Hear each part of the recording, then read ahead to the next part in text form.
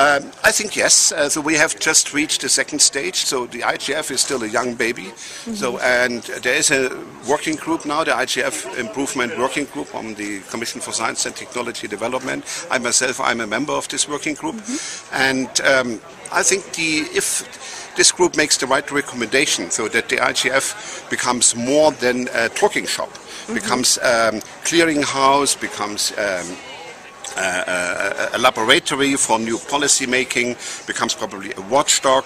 Uh, all these are new functions, you know, which can be developed, but has to be developed. It means you have to have a good uh, uh team in place and you have to have engaged stakeholders.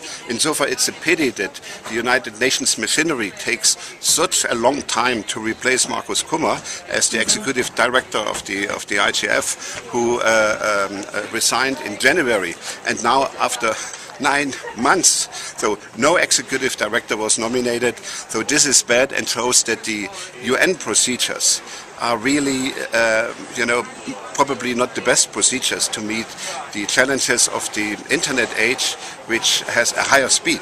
And the IGF works with a higher speed. But the good thing is that the IGF here in Nairobi demonstrates that probably all this political environment is not needed because it meanwhile uh, has developed an energy and a power in itself that it can uh, go on its own. It's good to be linked to the United Nations, but probably the IGF can be successful also, uh, I would not say without the United Nations, but with a greater distance to the United Nations.